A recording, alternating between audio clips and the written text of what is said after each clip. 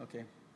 Thank you so much for, for coming this early morning after all the parties here. So it's great to be back as well here at Casual Connect. I was here about a year ago, and uh, as you can see, my name is Anders Jeppsson, and I joined uh, RIM about a year and a half ago. And I've been in the gaming industry for about 15 years, running my own studio and doing a lot of console and mobile mobile stuff. So uh, I was quite excited when I got the offer to head up the gaming strategy at, at BlackBerry to, to, uh, to really help them get back into the game. And I think we're actually really getting there now. So for the last year, uh, my main focus have been to help RIM create the easy and developer-friendly platform uh, for developers to help them monetize.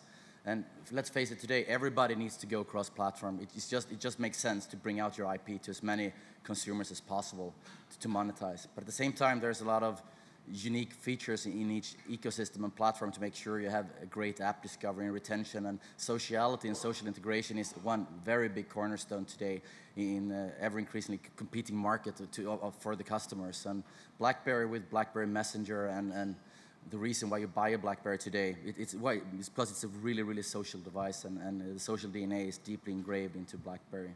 So make no mistake gaming social and, and, and uh, is, a very, very big component moving forward for, for BlackBerry, as is our use, uh, corporate base as well, of course. So for about two years ago, RIM has been building a, this optimized and differentiated platform from the ground up. And basically, they, they keep nothing. We're building everything again from, from the ground up to make sure that it's, it's ready for the next 10, 15 years of mobile computing. Like uh, our MC here talk, talked about uh, laptops, they're really going away for most people. It's, it's, it's mobile computing, cross-device, multi-screens, etc. And for that, you need a really strong uh, operating system. And that's the reason why RIM acquired QNX a few years back. That's the reason why they acquired Cellmania for, for, for a great App Store experience, and Torch Mobile to have a really, really good uh, HTML5 and browser experience. And it's also the reason that they acquired TAT, the Astonishing Tribe, where I came in about a year and a half ago and TAT uh, and their software and, and, and, their understanding about user experience. That software is in over half a billion phones today in the marketplace. All this, this old Samsungs and, and, Nokias and Motorola's and Ericsson, et cetera, et cetera, use that software. But now it's exclusive for BlackBerry and the BlackBerry developers. And the, one of the first things that did was also to make sure that we further enhance uh, the BBM and the BlackBerry Messenger sociality by acquiring ScoreLoop. It's a uh, so, so social API uh, proposition with leaderboards, achievements, microtransactions, and virtual goods, virtual currencies, etc., etc.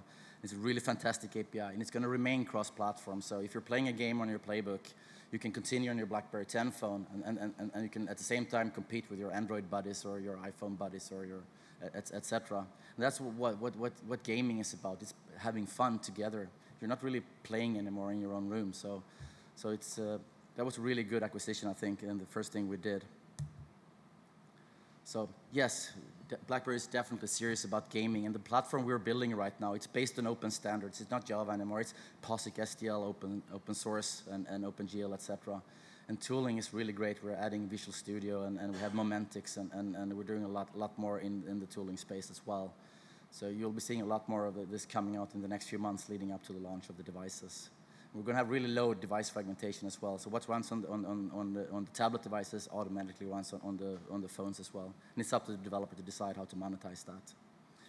Uh, and on the, on the user side, I mean, payment options. BlackBerry, we have a really close relationship with over 650 carriers in 170 countries all over the world. And for many consumers in many, many regions, uh, carrier billing is where it's at. That's, that's how they want to pay for their apps and their, and their games on, on the devices. So BlackBerry has by far the best relationship with those kind of uh, partners worldwide. But obviously we do credit card and, and uh, PayPal billing as, as, as, well. And socially enabled content, that's ScoreLoop and BBM, etc. So, so for you as a developer, we don't really want to say you have to do native or, or HTML. That, that's, that's the stuff. You, you, you need to do your games in web, etc. So if you're a native developer, we have probably the best native SDK in the marketplace now, and there are some testimonies, and I have a, a, a guest here as well with me today that's going to talk a little bit about the porting experience to, to, to BlackBerry in a little bit. But if you're doing web, HTML5, WebWorks, uh, or, or, if you do Adobe Air uh, apps, we have probably also the, the, best Air player on, on mobile today with really great performance. But it doesn't stop there. Even if you don't want to commit right now and you have, you're running your stuff on Android, just package it in our bar files and, and you can submit uh, your Android game without modification. It's going to run on Playbook and it's going to run better than most of the Android devices out there actually. So you have a lot of options to, to, to go to this new BlackBerry 10 platform to dip your toes in the water. So the, the, in the press, we all, we all read what people are, are writing about BlackBerry right now, and especially in this part of the world.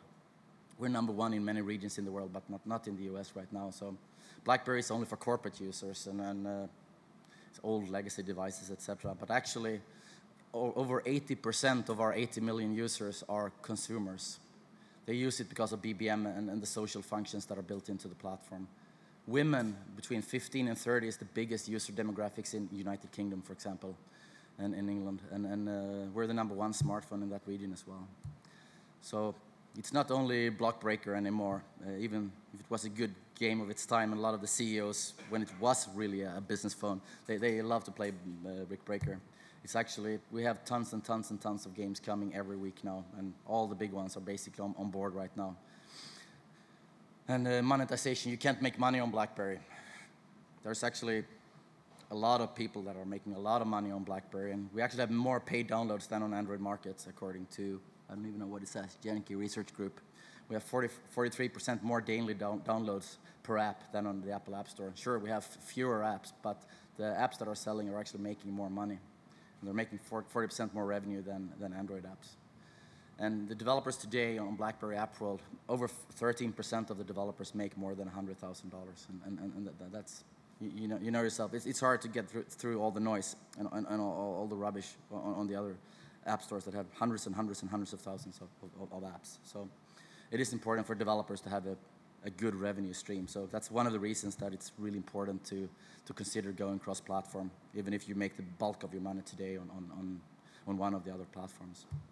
So we talked about this. It's not just Java anymore.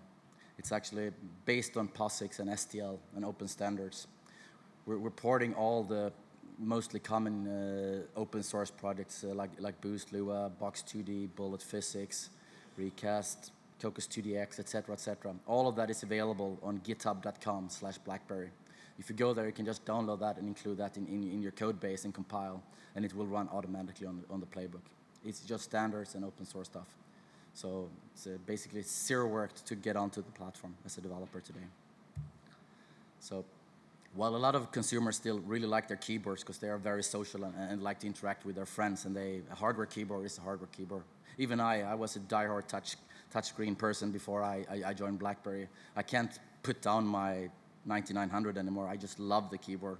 So probably I'll do a lot of my gaming on my, on my seven-inch BlackBerry instead, and, and, and have the phone for, for, for when I'm really social, and, and, and uh, I, I, need to be able to type fast and do all my tweet, tweeting and, and, and, and all of the email, etc on that device. So, but it's, it's up to you as a consumer. So right now, the playbook is in the market. It's been out for a, a, about a year, and it's a dual core, one gigahertz symmetrical multitasking. It actually has a lot better performance thanks to the operating system than the hardware specs would, would, would, would tell you.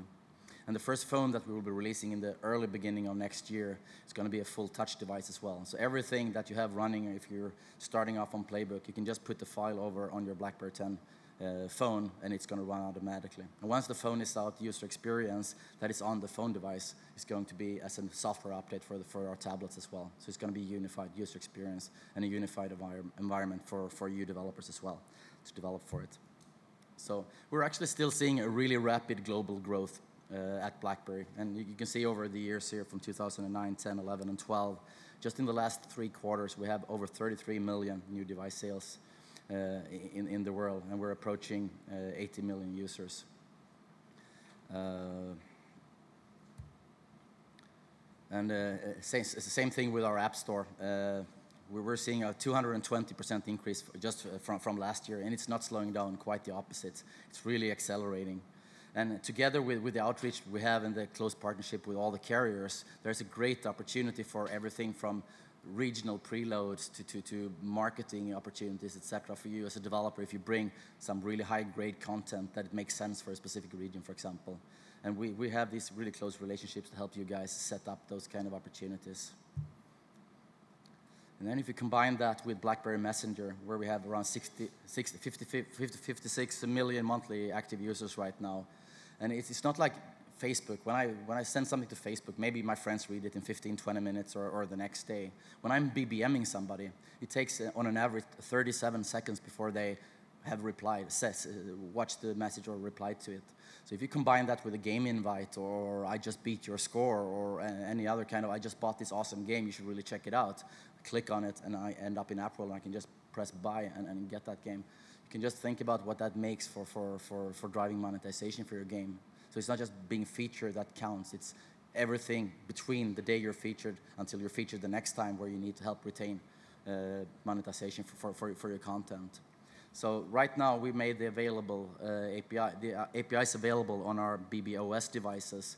And uh, have about, for the last, I think we made it available uh, six months ago, and we have about 1,000 apps right now that use BBM uh, integrated into their apps.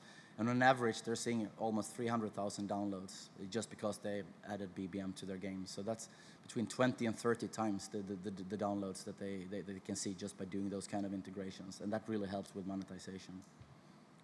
And I think we covered ScoreLoop al already. Basically, it's the most feature-complete uh, social API out there. It's free to use. It has cloud storage. It has leaderboards, achievements, challenges, virtual goods, virtual currencies, etc., etc. And if you implement that in, in, in, your, in your games, any platform you're on, iOS, BlackBerry, Android, you're doing Marmalade games, Unity games, Windows Phone, and, and, and even Bada, all of those users can compete and, and see whatever uh, scores are being beaten, etc., etc. So it's, it's really a great proposition for you developers, and I really encourage you to take a look at it if you haven't already. Just looking then at, at the new platform, the BlackBerry 10 and, and, the, and the Playbook. It's actually, the Playbook, despite having a, a, very relatively low install base compared to our, our almost 80 million mobile phones that are in, in the old generation Java, uh, the playbook is already generating more downloads and, and revenue than, than the other old, old, old, platform, and it's just pointing straight up into the sky. And five out of eight of the, of the best-selling apps are games on, on, on, on BlackBerry now. So our consumers, they're they love great content. They're definitely willing to pay for it, and, and, and, and they are buying everything that is good that is, that is, that is coming there. So I really encourage you to, to, to try it out. And uh, there's a great opportunity as well to, to get, uh, get featured on, on, on, on AppWorld and, and, work with our digital marketing teams for social media and, and PR, etc. And I have here in the audience Jenny Popova, who's responsible for featuring uh, on AppWorld. So she would love to talk to you guys afterwards if there's anything you would like to know uh, uh, uh, about getting featured and, and, and promoted via AppWorld. And this is basically what, what, it, what it looks like today. So, so Jenny can show you more on her device later. And these, these are just a, a, very few. I could stand here and speak all, all, all day about the, the, what, what's been happening with BlackBerry and gaming uh, just the last six to 12 months. So these are just a, a few, a few of the, the things we're, we're working on right now and some of the partners.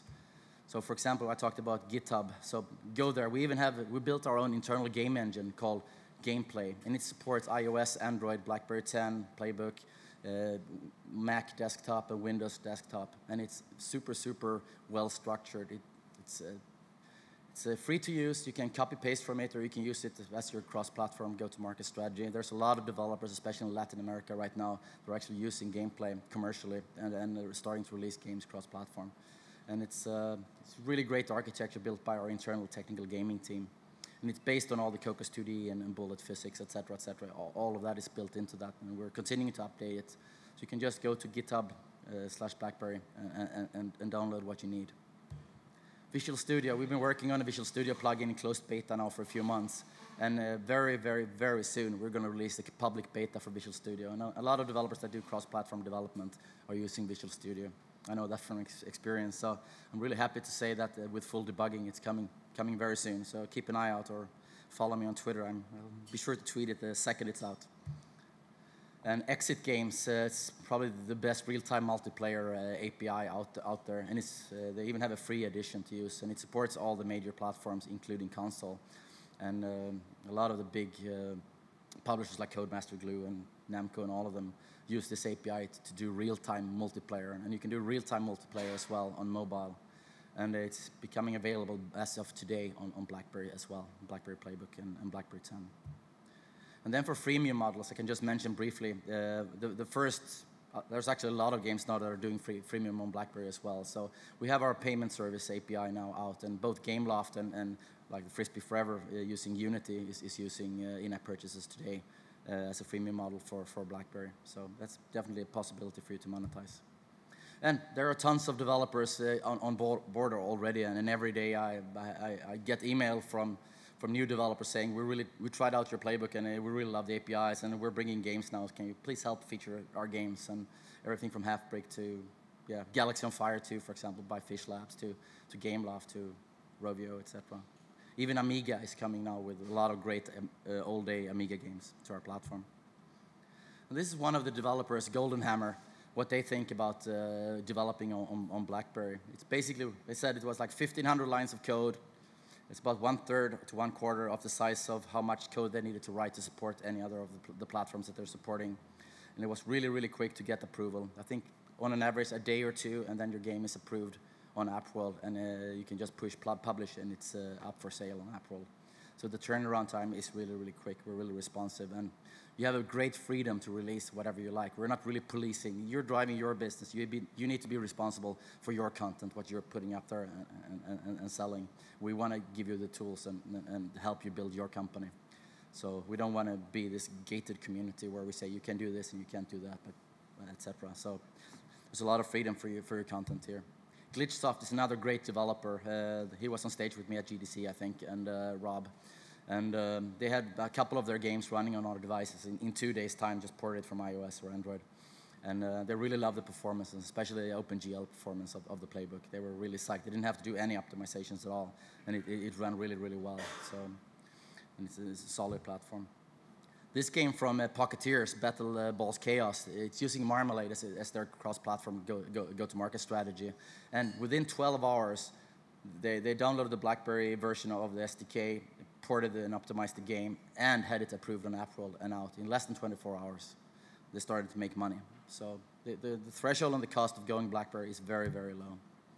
Same with PawPrint games. I think the engine code 370 lines of code a few hours to integrate the build system, three hours to get the code compiling. And so in less than a day, they had actually all their four games up and running on, on, uh, on the device, and they could have some coffee and sleep.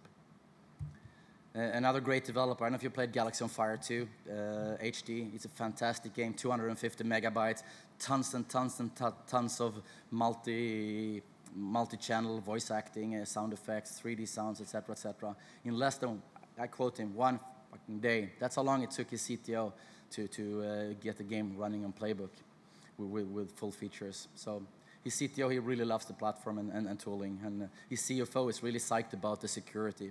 There's no piracy because we're doing business stuff on our platform. That means that businesses need to be secure. But it needs to be secure because of piracy as well. So it benefits both consumers and, and businesses alike. And he liked the devices as well. And now I'm really, really happy to, to uh, in, introduce a, a, a guest here uh, Stefan from uh, Square One Games. He's going to talk a little bit about his porting experience. I, Stefan actually sent me an email like a, less than a month back saying, we have this game now and it's, uh, it's basically ready for, for launch on Playbook. We had never met before, met before. And, and you kind of like the platform, so please.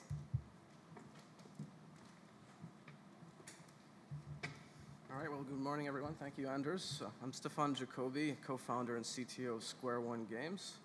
We're an independent developer based out of Vancouver, BC, and currently we're primarily focused on mobile gaming, but we've had a long-standing history on Nintendo platforms prior to that.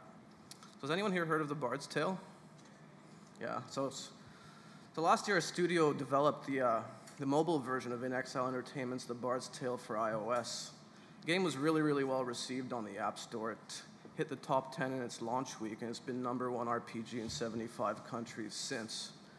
Just last month, we also released it on Mac App Store, where it had similar success, hitting going as high as number three in its launch week. And today we're happy to announce that The Bard's Tale will be coming very soon to BlackBerry App World, with an initial launch for Playbook OS in August, and then a BB10, a BB10 launch uh, when the launch happens. So why did we start? Why did, why, why did we start programming or developing for BlackBerry? Well, when RIM announced support for native code, that's when we knew the interest was there. We've, we've always been a native house, so it was very important for us to have native code. And as soon as they announced that, the platform was on our radar as something we wanted to, ad to adopt. So as we first started to port over the game, it was only a matter of hours before we realized that much of the work was pretty much already done from our previous iOS and Android ports of the game. With the native APIs of the BlackBerry based on open standards, it was merely just an effort of recompilation and repackaging. And in just two short days, what, what had started as platform experimentation was looking like it could become a finished product pretty quickly. With a little extra effort to support OS-specific functionality such as in-app purchase, you know, native video player, we essentially had a fully finished commercial app in under a week, and that was just a single person working on it. And BlackBerry is by far the easiest port that we've ever done as a studio, and for us, an extremely inexpensive additional revenue stream to add to our portfolio. But what made it so easy? Well, for one, the BlackBerry NDK is designed from the ground up for native development. It's pure C++ API, and no glue at all is required to get a game framework up and running on the platform. Second, the, the tool set which was originally provided with, a, with the NDK, QNX Momentics, Momentics, was very accessible to newcomers to the platform. It also made iterating and debugging extremely, extremely easy thanks to a very fast debugger and application deploy times. Lastly, the, the, platform's hardware and operating system runtime made the device more than up to the task to run a graphically and computationally heavy game like The Bard's Tale. The low overhead of the OS, as Anders mentioned earlier, really ups the spec, and so the hardware specs don't really match up to other platforms with similar hardware specs, thanks to a very optimized OS. And lastly, I mean, worth mentioning is the fact that RIM provided amazing, amazing support, very timely. Every, every answer, every question was answered within 24 hours.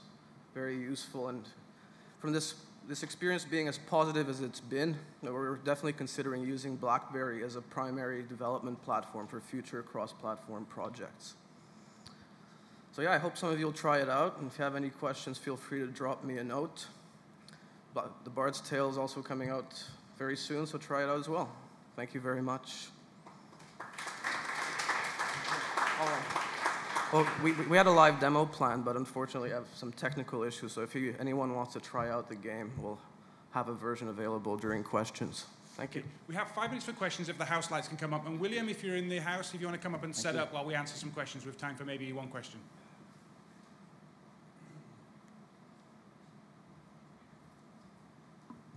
Well, I can start with a question.